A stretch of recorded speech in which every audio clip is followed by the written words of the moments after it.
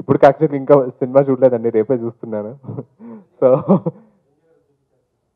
చిరంజీవి గారు చూపించానండి కాకపోతే rough cut చూశారు. అంటే ఇప్పుడు మొత్తం అయినదైతే చూడలేదు.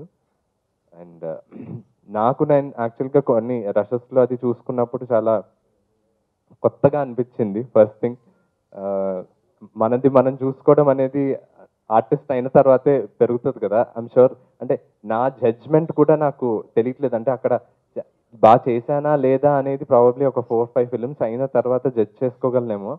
ఇప్పటికైతే అంటే ఎక్కడ నాకు అంత హండ్రెడ్ పర్సెంట్ సాటిస్ఫాక్షన్ ఇచ్చినట్టు అనిపించలేదు but ya as long as I satisfied producer గారు సెంట్రల్ గారు అండ్ రాకేష్ గారు చరణ్ బాబు సజెషన్స్ ఇచ్చారు అని అంటే మూవీకి ముందు మామయ్య గారు కానీ చరణ్ గారు కానీ ఎవరు సజెషన్స్ అనేవి ఇవ్వలేదు. బట్ మూవీ అవుతున్నప్పుడు మేకింగ్ అవుతున్నప్పుడు మాత్రం డెఫినెట్గా నాకు ఏదైనా ఉంటే వెళ్ళి డిస్కస్ చేయడం జరిగింది.